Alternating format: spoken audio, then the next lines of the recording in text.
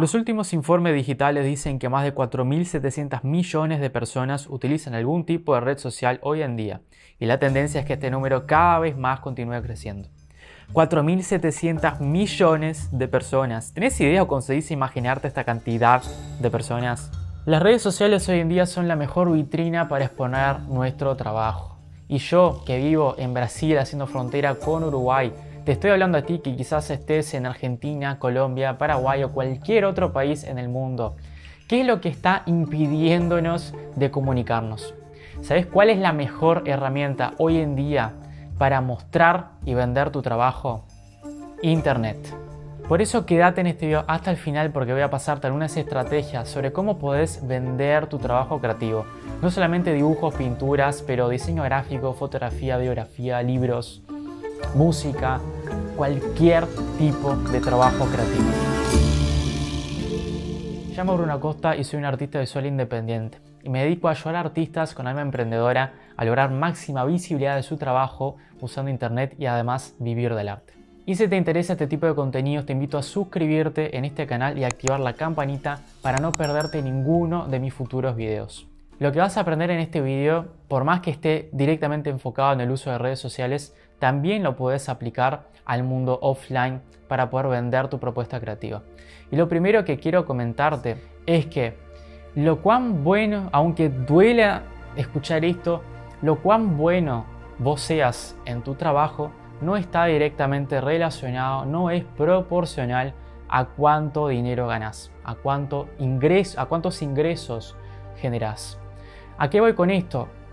El arte es algo subjetivo, lo que es lindo para mí quizás no sea lindo para ti. Entonces, por ser algo subjetivo, es difícil de poder afirmar que quienes hacen el arte más lindo son quienes ganan más. En realidad, quienes hacen el mejor trabajo no son los que más ganan. Quienes más ganan son los que tienen más visibilidad.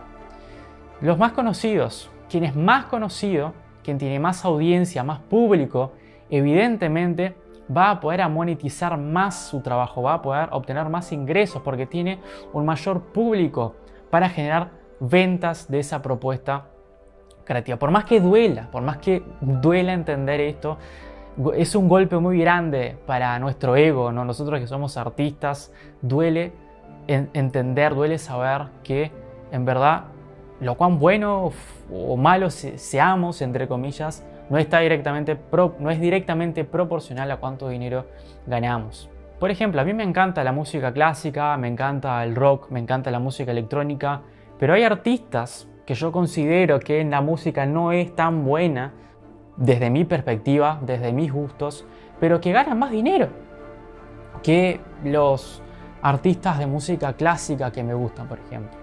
¿No? Si yo voy a pensar técnicamente que la música clásica es más técnicamente más bonita, más linda, pero eso no está relacionado con el dinero que el artista gana. Quien gana más es quien es más conocido. Además de entender esta cruda verdad, tenemos que saber también de que las demás personas, nuestros clientes potenciales, nuestros futuros compradores, las personas están más preocupadas con ellas mismas, con sus problemas, con sus problemas del día a día, con sus frustraciones, sus deseos, están más preocupadas con eso que con nuestra propuesta artística y con nuestro producto. Tu trabajo artístico tiene que dialogar con un público objetivo específico y es necesario que comuniques beneficios. ¿Cuáles son los beneficios que estás entregando con una sesión de fotos, con un video, con un diseño gráfico, con una pintura, con una ilustración, con un libro? ¿Cuáles son los beneficios que estás entregando con tu trabajo creativo? Quizás cueste un poquito comprender este concepto, pero para que lo tengas en cuenta, para que pienses junto conmigo. Cuando un fotógrafo va a vender una sesión de fotos, lo que el 98% de los fotógrafos hacen es publicar sus fotos en las redes sociales, en Instagram, por ejemplo, y, colocar en la descripción agenda abierta o mandame un inbox para contratar mis servicios, para agendar tu sesión. O sea, no está comunicando un beneficio que la otra persona espera. Por ejemplo, cuando alguien contrata a un fotógrafo para una sesión de fotos, no está contratando al fotógrafo para hacerle la sesión de fotos. está contratando el fotógrafo porque esa persona busca mejorar su autoestima.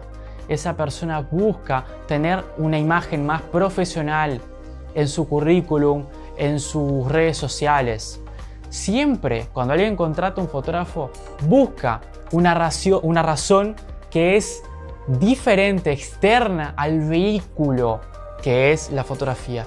La fotografía es un vehículo.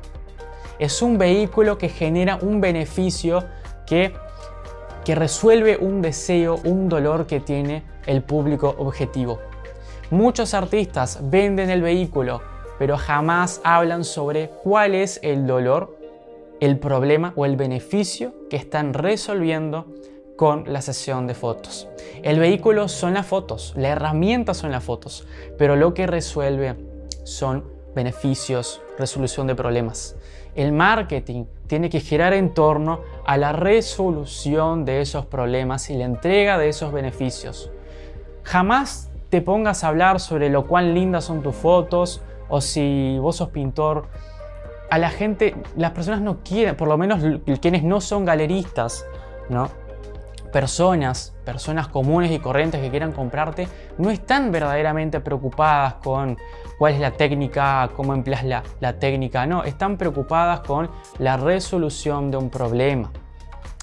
Una persona puede comprarte un cuadro, por ejemplo, porque sabe que es un activo y que a largo plazo eso le va a generar una rentabilidad porque va a poder revender el cuadro más adelante. Pero muchas personas no saben eso no saben que comprar un cuadro significa comprar un activo que le va a proporcionar más ingresos en el largo plazo, porque se puede revender y obras de arte tienden a aumentar de precio a lo largo del tiempo. Eso es un beneficio y muchas veces pagan sumas gigantescas de dinero por obras de arte pensando en ese beneficio. Nadie compra un, cuadro por millones por el simple hecho de que ah, es que me gusta el artista. No, siempre compran por razones que son propias, beneficios propios. Las personas piensan en ellas mismas primero, antes de comprar cualquier cosa. Cualquier cosa. Estamos hablando del mundo del arte, pero en realidad esto se aplica a cualquier, cualquier, cualquier cosa. Cris Avance es una fotógrafa brasileña que dialoga con el nicho de mujeres y siempre está hablando en sus redes sociales y específicamente en sus entradas de blogs sobre el empoderamiento femenino. Quiero comentar, quiero compartirte, en verdad quiero mostrarte esta entrada específica de su blog en donde ella comenta, aquel título dice, ¿cómo puede una sesión de fotos aumentar la autoestima femenina? Obviamente que esto está en portugués y yo lo traducí para el español. Y fíjate qué interesante, en algún momento de tu vida debes haber escuchado que para amar a alguien primero tienes que amarte a ti mismo, ¿verdad? Y aquí habla de lo que es la autoestima femenina. La autoestima femenina es un espectro que adolece de muchas cuestiones del universo femenino, etcétera, etcétera, etcétera. Y aquí abajo ella comienza a compartir un punteo de cosas. Por ejemplo, la autoestima femenina nace del autodescubrimiento. Si ya tienes una autoestima destrozada, si ya tienes la autoestima destrozada en el día a día, cuando te miras al espejo seguro que los defectos que crees tener son las primeras cosas que ves. Muchas veces esta visión distorsionada termina por desdibujarte y hacerte ignorar tantas otras cualidades que tienes, etc. El segundo punto, una bonita sesión de fotos puede mejorar tus relaciones interpersonales. Beneficio, está hablando sobre beneficios. Con hermosas fotos en la mano seguramente estará más satisfecho con su imagen y llenará sus redes sociales con hermosos clics. Esto por supuesto generará una buena repercusión en tu red de amigos. A mucha gente le gustará, comentará y elogiará, lo que también da ese up en el autoestima femenina. Tercer punto, las fotos te ayudan a aceptarte tal y como eres. Y aquí está haciendo un punteo de varios beneficios que tiene hacerse una sesión de fotos. Ella jamás está hablando sobre mis fotos van a tener tal y tal color, mis fotos tienen tal y tal estilo de edición. No, ella está hablando sobre cómo sus sesiones de fotos empoderan a las mujeres, sobre cómo sus sesiones de fotos aumentan la autoestima, cómo sus sesiones de fotos mejoran las relaciones interpersonales, de esas personas está comunicando beneficios. No está hablando, una vez más, no está hablando sobre el vehículo, está hablando sobre la transformación, la resolución del problema, sobre el beneficio que la persona que contrata su trabajo fotográfico está verdaderamente buscando. No solamente con fotógrafos, aplica todo, diseñadores gráficos. ¿Cuáles son los beneficios, tu diseñador? ¿Cuáles son los beneficios de tu trabajo que estás comunicando en tus redes sociales? ¿Cuál es tu nicho? ¿Cuál es tu público objetivo? ¿A quién le estás comunicando? ¿Estás apenas mostrando tu trabajo en tus redes sociales y diciéndole a la gente, este es mi servicio, cobro tanto, contrátame? No es así. Tú tenés que comunicar, educar a tu audiencia de por qué debe contratar, por qué invertir en una mejor identidad visual es importante y cuáles son las consecuencias negativas si tu cliente en potencial no contrata ese servicio, no mejora su identidad visual. Quizás trabajes con, seas diseñador gráfico y quizás trabajes con restaurantes, empresas. Bueno, hay empresas que no tienen una identidad visual definida y al no tener una identidad visual definida, puede ser que esté perdiendo ventas, puede ser que no esté generando y mostrando la verdadera autoridad dentro del mercado. Y todo eso son dolores, son problemas, que tiene la empresa. Y tú, vos, con tu vehículo, que es el diseño gráfico, para crear una nueva identidad visual, para crear un nuevo logo, estás solucionando ese problema. Vas a hacer con que la empresa genere más autoridad en el mercado, más relevancia, va a hacer con que esa empresa, por tener una identidad visual más sólida, pueda cobrar más por sus servicios, pueda ganar más dinero. Esos son beneficios y eso tenemos que comunicar dentro de nuestras redes sociales. Tenemos que educar a nuestra audiencia de por qué nuestra propuesta creativa, nuestro producto o servicio creativo, artístico, puede entregar ese beneficio en nuestras vidas. También sucede con los artistas plásticos que suben un cuadro, un dibujo, una ilustración y dicen, hey, este es mi arte. ¿Te gusta? Bueno, está a la venta, cómprame. No es así que funciona. No es así hay que educar a nuestra audiencia.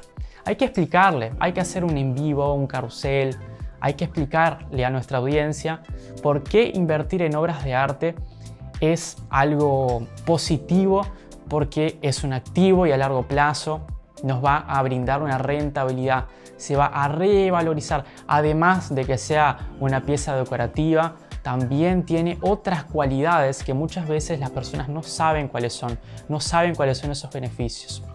Y nuestras ventas, nosotros comenzamos a vender mucho nuestro trabajo creativo cuando identificamos cuáles son los beneficios reales que nuestro, nuestro trabajo creativo, nuestra propuesta artística entrega y comenzamos a hablar sobre esos beneficios para nuestra audiencia. ¿Qué tipos de contenidos se pueden crear para hablar sobre estos beneficios? Carruseles. Puedo hacer una publicación mostrando un carrusel con puntos, por ejemplo, cinco razones por las cuales tenés cinco, cinco razones por las cuales comprar obras de arte son una inversión inteligente en 2022. Y ahí yo hago un carrusel explicándole con argumentos lógicos a mi audiencia por qué es una buena inversión, ¿no? cuál es la rentabilidad, a largo, en cuántos años tarda en revalorizarse la obra. Todos esos puntos yo educo para que mi audiencia sepa que es una buena inversión. Lo mismo con los otros nichos, los fotógrafos, los escritores. También pueden crear este tipo de contenidos. Puedo hacer un, en vivo en donde yo entrego este mismo contenido. Cinco razones por las cuales, por las cuales em, sacarte una sesión de fotos aumenta tu autoestima. Cuatro razones por las cuales deberías hacerte una sesión de fotos ya y yo explico que mejora la autoestima, que mejora las relaciones interpersonales, que te brinda mejores oportunidades de obtener trabajo, porque si tenemos una imagen profesional en las redes sociales, vamos a, las personas van a poder mirarnos de forma más seria y podemos tener más oportunidades de trabajo, de negocios. Todos esos beneficios tenemos que comunicar y el precio, el valor de nuestro producto, servicio artístico, ya deja de de, cobrar tanta importancia, porque si nosotros entregamos esa transformación, resolvemos ese problema tan grande que posee nuestro cliente en potencial, pagarnos no, es una barrera, pagarnos no es un impedimento. Las mujeres, por ejemplo, hablando sobre este nicho de, los fotógrafos, considerando el nicho de los fotógrafos, las mujeres que no se sienten bien con su cuerpo, que no están bien de, autoestima, suelen pagar fortunas para procedimientos estéticos, suelen pagar fortunas por eh, maquillajes y productos que la hacen sentir bien con su cuerpo. Principalmente los procedimientos estéticos. Salen muy caros. Salen muy caros los procedimientos estéticos. Y lo que busca cuando compra un procedimiento estético, eh, por ejemplo una cirugía plástica, lo que compra es el mismo beneficio que es autoestima, aumentar sus relaciones, mejorar sus relaciones interpersonales, que la miren con otros ojos los hombres. Ella busca los mismos beneficios que vos podrías entregar con una sesión fotográfica. Porque al entregarle una sesión fotográfica estás entregándole lo mismo. Mejora la autoestima, mejora las relaciones interpersonales. Es el mismo beneficio. Por eso que incluso podés cobrar mucho más por tu trabajo, seas fotógrafo, por ejemplo, puedes cobrar mucho más porque estás entre cuando podés cobrar más en realidad cuando tú entregas, cuando vos entregas a lo que va más allá de tus fotos, cuando vos entregas ese beneficio. Y asimismo se aplica a todas las demás áreas creativas. Si te gustó este contenido y sentís que te aporté valor de alguna manera, quiero invitarte a que mires una clase mucho más profundizada y sin compromiso sobre este asunto haciendo clic en el primer enlace de la descripción de este video. Es una clase de 20 minutos y al final yo te hablo sobre este libro que se llama De artista empresario, cómo obtener miles de seguidores y transformar tu pasatiempo en tu principal fuente de ingresos. Incluso hay un capítulo, que es el capítulo 6 en la página 155, donde yo te hablo sobre cómo construir un arquetipo de cliente ideal y esto te va a servir muchísimo para definir tu público objetivo y luego elaborar toda una estrategia de marketing que dialogue y comunique los beneficios de tu trabajo. Simplemente probalo, no juzgues este contenido, probalo. Intenta crear una publicación, intenta cambiar un poco tu comunicación, busca cuál es tu público objetivo correcto y empezá a dialogar con los dolores y los problemas, frustraciones que tiene ese público objetivo. Puede ser que te sorprendas mucho con los resultados que vayas a obtener después. Y recordá, por más que lo hayas repetido varias veces en este video, las personas están buscando beneficios en tu propuesta creativa. Está, están buscando resolver un problema, obtener un beneficio con aquello que estás vendiendo.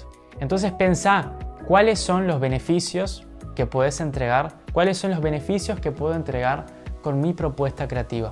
Y mi marketing va a comenzar a girar en torno en comunicar constantemente, todos los días, cuáles son esos beneficios. Y si te gustó este video, no dudes en apretar el botón de me gusta porque así YouTube, el algoritmo de YouTube va a comenzar a entregarle este contenido a más personas.